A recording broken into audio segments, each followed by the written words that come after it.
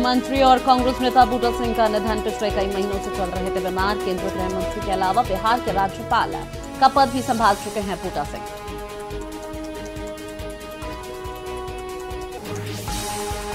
CM Shivraj Singh Chauhan की आज प्रदेश के आला अधिकारियों से चर्चा। शाम चार बजे वीडियो कॉन्फ्रेंसिंग के ज़रिए करेंगे तमाम विभागों के अध्यक्ष और सचिवों से चर्चा।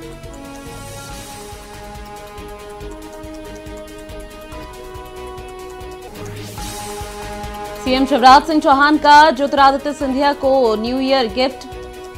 विधा, दो विधायकों को मंत्री बनाए जाने की दी सौगात। तीन जनवरी को राज्यपाल आनंदीबेन पटेल दिलाएँगे मंत्री पद की शपथ।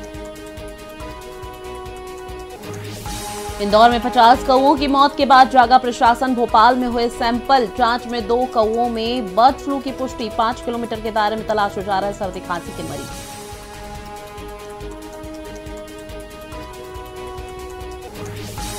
और राजधानी भोपाल के तीन केंद्रों पर टीके की रिहर्सल शुरू।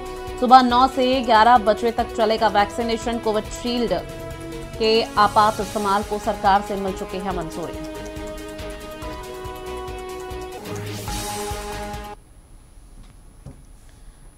नमस्कार, स्वागत है आप सभी का न्यूज़ एंड व्यूज़ में और मैं हूँ आपके साथ ऋतु भंडारे। नमस्कार, मैं गीत दीक्षित। और बुलेटिन की शुरुआत करते हैं इस वक्त की एक बड़ी और दुखद खबर से, जहाँ पूर्व केंद्रीय मंत्री बूटा सिंह का निधन हो गया है।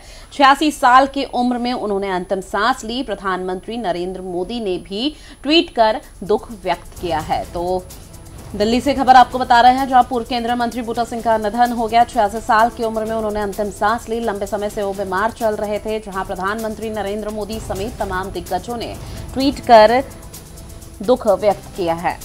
तो आपको बता दें कि पूर्व गृह मंत्री और कांग्रेस के वरिष्ठ नेता बूटा सिंह का शनिवार को लंबी बीमारी के बाद उनका निधन हो गया। ऐसे में चर्चा करेंगे गीत जी दलितों के मसीहा कहे जाते थे पूर्व केंद्रीय मंत्री बूटा सिंह और ऐसे में उनका निधन हो जाना। कितनी बड़ी क्षति आप देखते हैं? देखिए कांग्रेस के लिए तो बड़ी क्षति है क्योंकि बूटा सिंह बहुत सीनियर लीडर थे और उन्होंने इंदिरा गांधी के ज़माने से काम किया है और उसके बाद राजीव गांधी के साथ भी काम किया। सोनिया गांधी के भी बड़े निकट रहे। सबसे बड़ी बात है कि बूटा सिंह ने जो कार्यशैली उनकी रही है वो गरीबों के साथ ज़्यादा जुड़े रहे। कम से कम नीचे निचले तबके के जो लोग होते थे उनके साथ उनकी कार्यशैली रहती थी। बतौर राज्यपाल भी उन्होंने कई बार ऐसे काम किए जिसमें वो निज़ाम साबित हुए नज़ीर बने। इसलिए बूटा सिंह का जाना कांग्रेस के लिए बड़ी क्षति है और कांग्रेस का एक आला नेता आप देखिए कांग्रेस के अंदर निरंतर आला नेताओं के जन अहमद पटेल फिर उसके बाद बूटा सिंह ये अपने मोतीलाल वोरा ये अपने आप में कांग्रेस के लिए बड़ी क्षति हो रही है ऋतु। बिल्कुल तो एक अहम खबर आपको बता रहे थे जहाँ पूर्व केंद्रीय मंत्री बूटा सिंह का निधन हो गया लंबे समय से वो बीमार चल रहे थे और ऐसे में उन्होंने छियासी साल की उम्र में अंतिम सांस ली। चलिए, अब रुक करते हैं अगली खबर का, जहाँ नए साल का आगाज़ हो चुका है और सीएम शिवराज सिंह चौहान के लगातार वही तेवर और वही अंदाज नज़र आ रहे हैं जो साल 2020 में नज़र आए थे। ऐसे में सीएम शिवराज सिंह चौहान आज एक बार फिर यहाँ बैठक लेंगे, अफसरों के साथ और उन्हें हिदायत दी जाएगी, फटकार भी यहाँ लगाई जाएगी और जो भी तमाम यहाँ पर कार्य होंगे उसको लेकर भी यहाँ इस बैठक में चर्चा की जा सकती है। साफ़ तौर पर कहा जा सकता है कि मंत्रिमंडल विस्तार के बाद ये बैठक हो रही है, जिसके बाद बाद ये बैठक काफ़ी अहम हो जाती है। तो आपको बता दें कि साल 2020 में जो अंदाज और नए तेवर सीएम शिवराज सिंह चौहान के देखने को मिले थे, वही इस बार साल 2021 और साल के दूसरे दिन देखने को मिल रहे हैं, जहाँ सीएम शिवराज सिंह चौहान आज एक बार फिर सख्ती के साथ अपने आला अधिकारियों की क्लास लेंगे, जिसमें सीएम शिवराज सिंह चौहान शाम चार बजे वीडियो कॉन्फ्रेंसिंग के ज़रिए अपर मुख्य सचिव और प्रमुख सचिव सचिव सहित विभाग प्रमुखों को संबोधित करेंगे। वहीं चार जनवरी को भी सीएम आईटी कलेक्टर के साथ बैठक करेंगे और भूमाफियाओं ड्रग माफियाओं पर हुई कार्रवाई पर चर्चा की जाएगी। आपको बता दें कि सीएम शिवराज सिंह चौहान ने जब से चौथी बार की सत्ता संभाली है तब से ही सीएम लगातार एक्शन मोड में नज़र आ रहे हैं।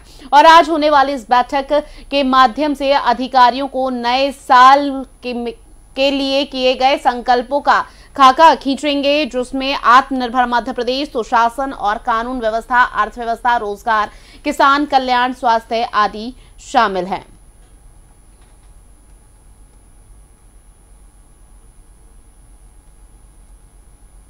तो इसी पे हम चर्चा करेंगे। हम गीत के ये अभी कल मंत्रिमंडल विस्तार जिस तरह से खबरें सामने आएगी तीन जनवरी को मंत्रिमंडल विस्तार हो सकता है। लगभग मान लीजिए आगामी पाँच जनवरी तक मंत्रिमंडल विस्तार और उससे पहले चार जनवरी को बैठक सीएम शिवराज सिंह चौहान की और एक बार फिर यहाँ पर आज जो अफसरों के साथ बैठक कितनी महत्वपूर्ण इसको माना जाए?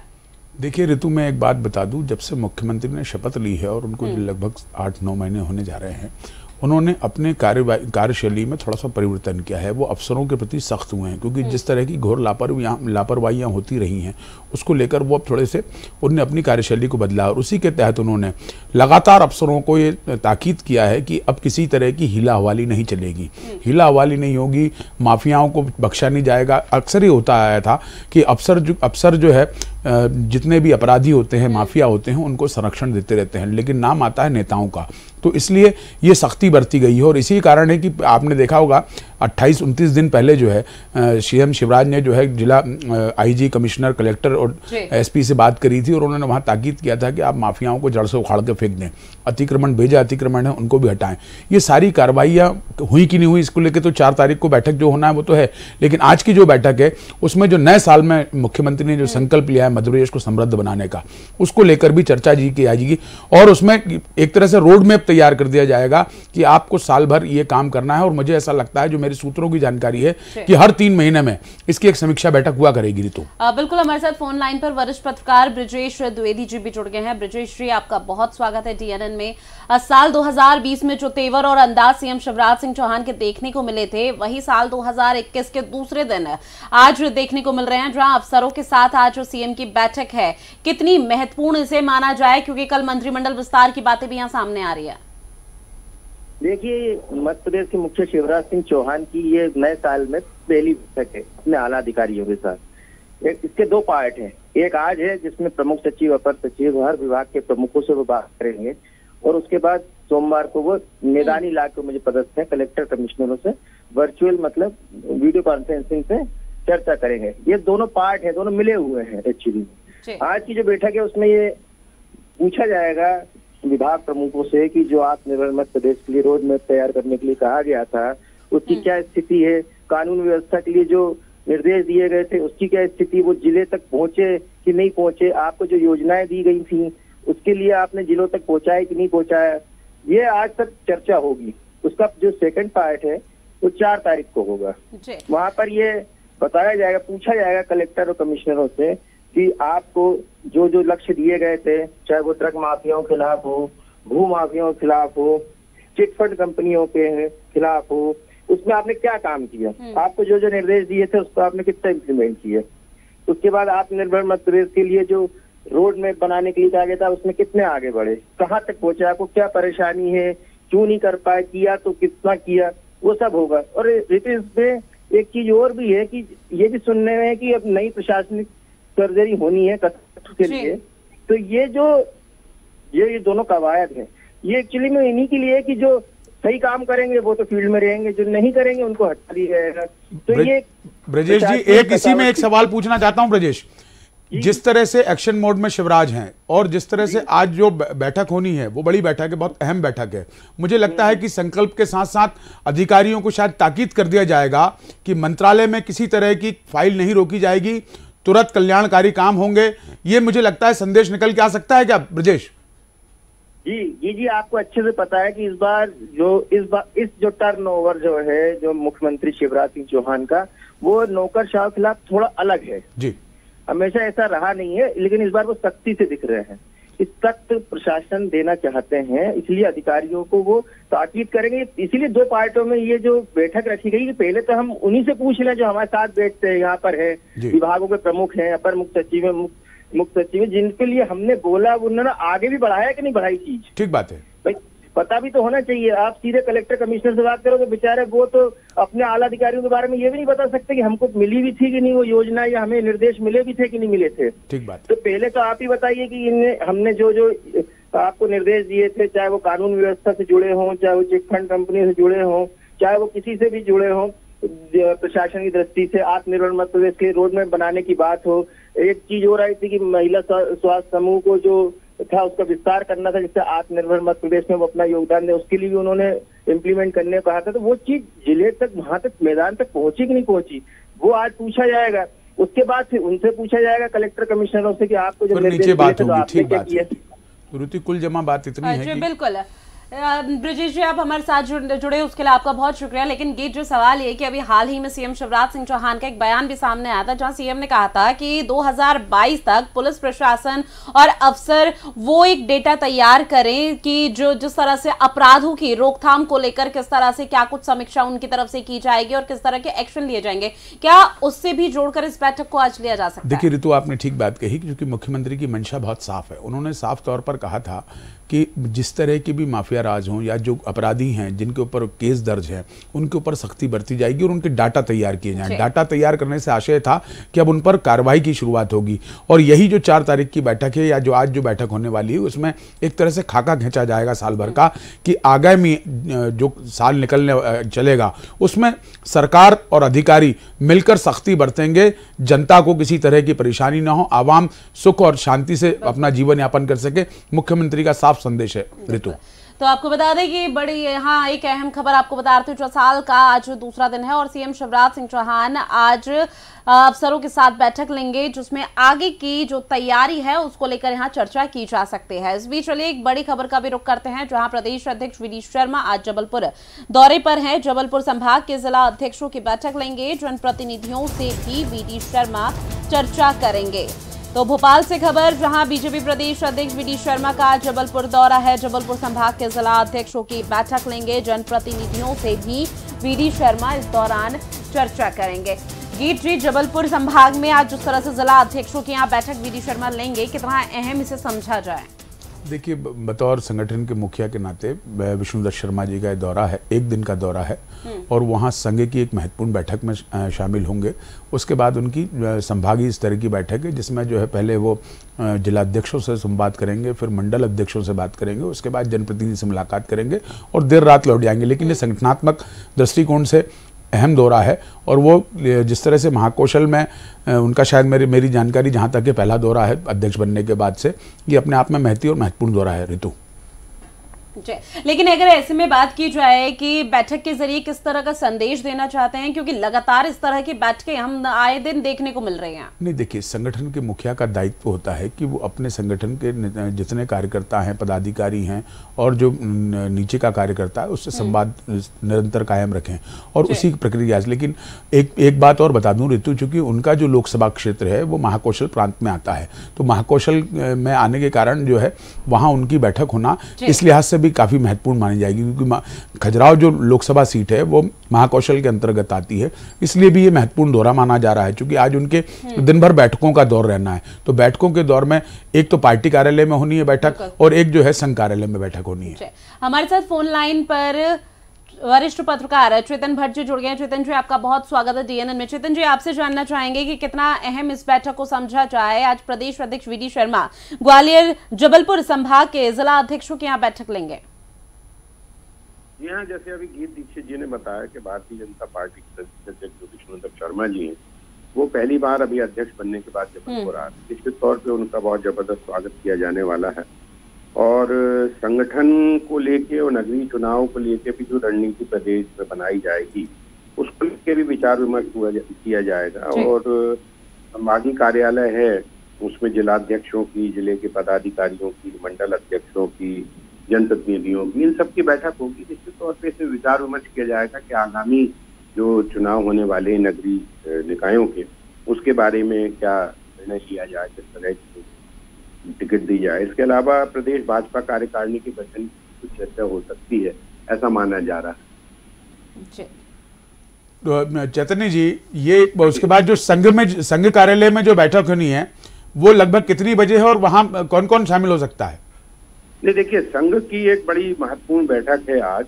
जी। और वो बैठक केशव कुटी में ही होगी। जी जी। दोपहर 11 से 12 के बीच में होने वाली है। जी जी। और निश्चित तौर पे इसमें लोक निर्माण मंत्री गोपाल भार्गव ब्रजेंद्र प्रताप सिंह राज्य मंत्री कांवरे प्रहलाद पटेल इस तरह के नेता और राम और जो संघ के जो पदाधिकारी होते हैं महाकौशल प्रांत के जी जी। वो तो इसमें शामिल रहते ही हैं। तो इसमें ये बताया जा रहा है वैसे तो संघ का जो निर्णय रहता है जो। भी उनका वो रहता है कि किस बारे में बात होना चाहिए वो सार्वजनिक नहीं करते हैं वो। जी जी। लेकिन जैसे क्षण के खबरें आ रही कि इस बारे में जो बैठक होने वाली है वो 15 जनवरी से अयोध्या में राम मंदिर निर्माण के लिए समर्पण निधि जो अभियान शुरू होने वाला है जी जी जी।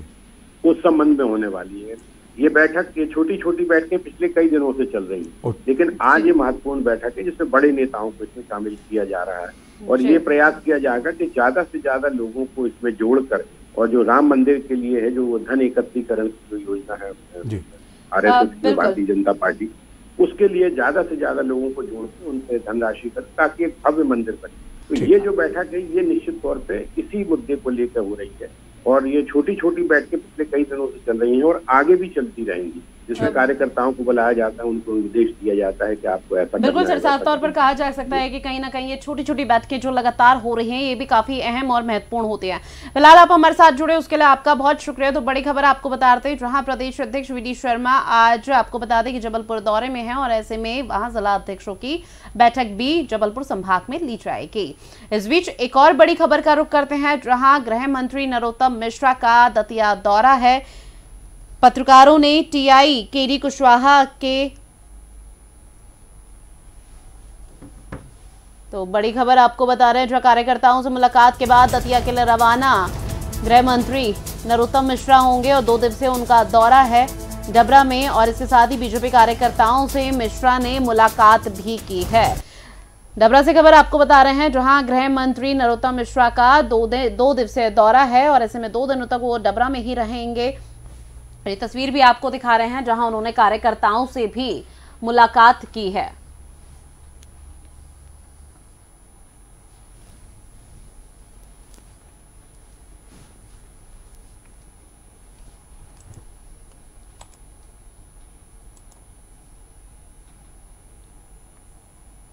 चलिए अब रुक करते हैं अगली खबर का, जहाँ मुख्यमंत्री शिवराज सिंह चौहान ने सांसद ज्योतिरादित्य सिंधिया को उनके जन्म दिवस पर एक बड़ा तोहफा देने जा रहे हैं, जहाँ रविवार यानी कि कल तीन जनवरी को प्रस्तावित मंत्रिमंडल विस्तार में सिंधिया समर्थक के विधायकों को शपथ दिलाई जाएगी।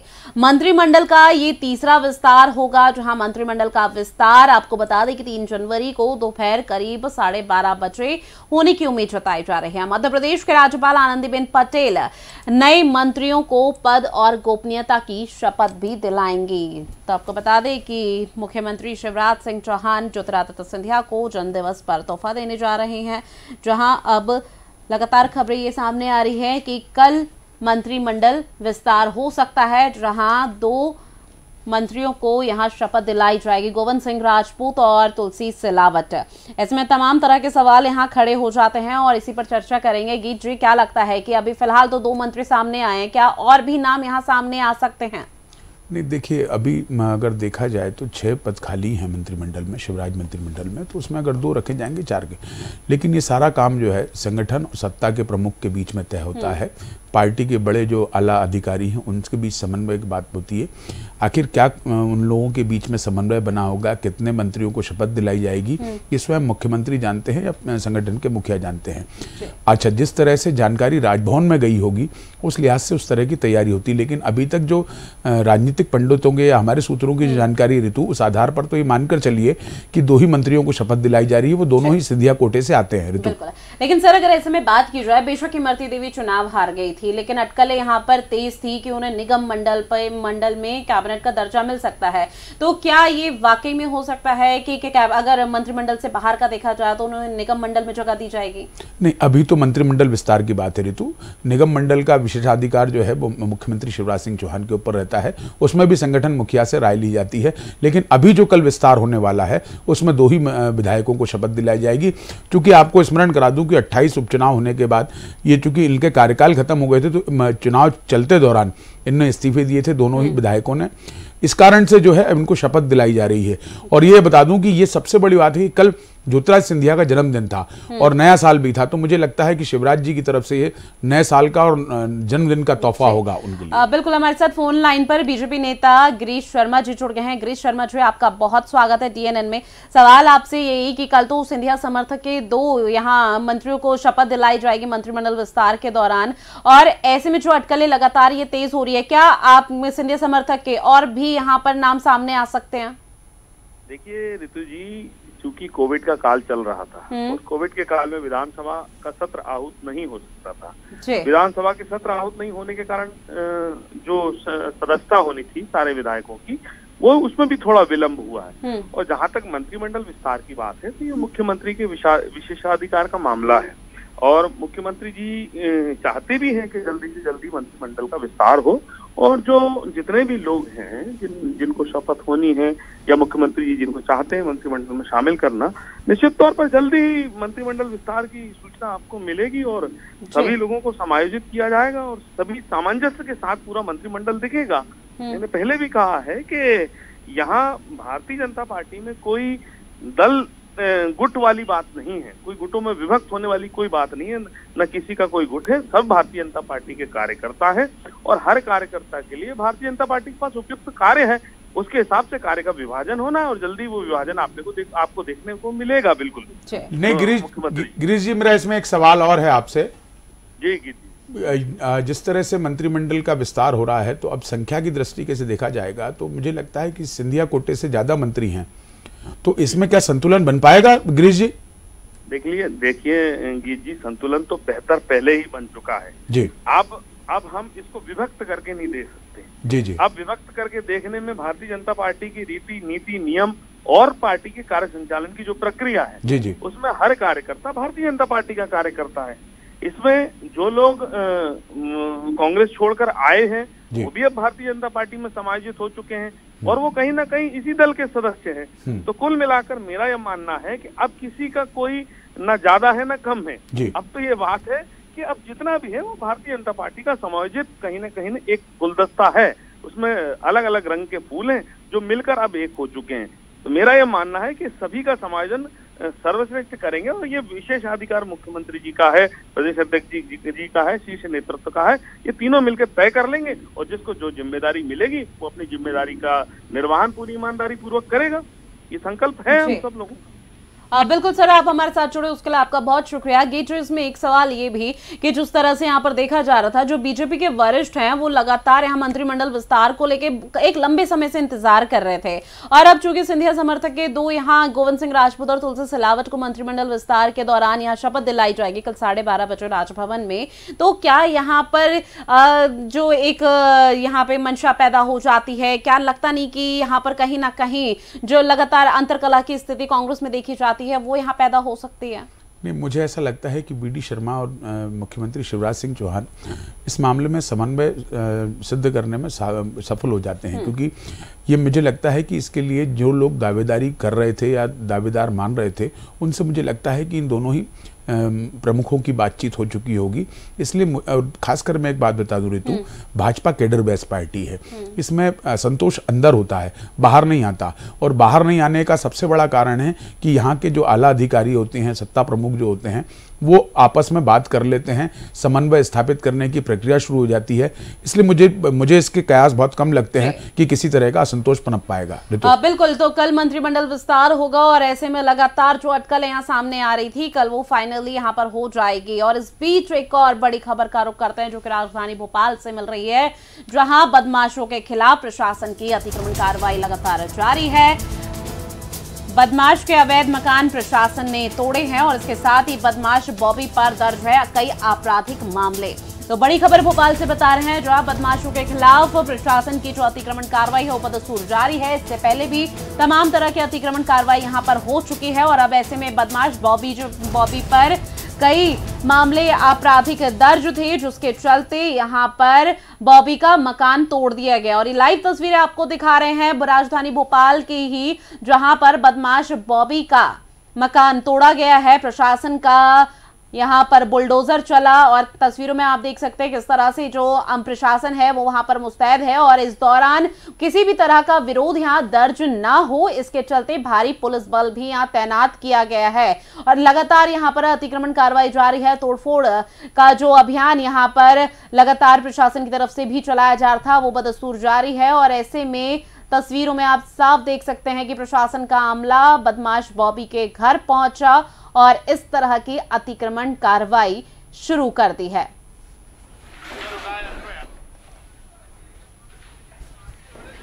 गीत जी लगातार हम भी देख रहे थे, सीएम शिवराज सिंह चौहान का जिस तरह से ऐलान किया गया था कि बदमाशों की जो भी रोकथाम, जिस तरह से यहाँ पे बदमाश सामने आ रहे थे निकल के और अतिक्रमण, तोड़फोड़ अभियान जारी रहा। ऐसे में प्रशासन की भूमिका काफ़ी अहम हो गई, क्योंकि प्रशासन लगातार इस तरह की जो अभियान है वो करता है। और इसीलिए तस्वीरें हमारे सामने आ भी रही हैं, भोपाल के लक्ष्मी नगर की, जहाँ बदमाश बॉबी के घर प्रशासन का अमला पहुँचा और ये अतिक्रमण कार्रवाई की बुलडोजर चला।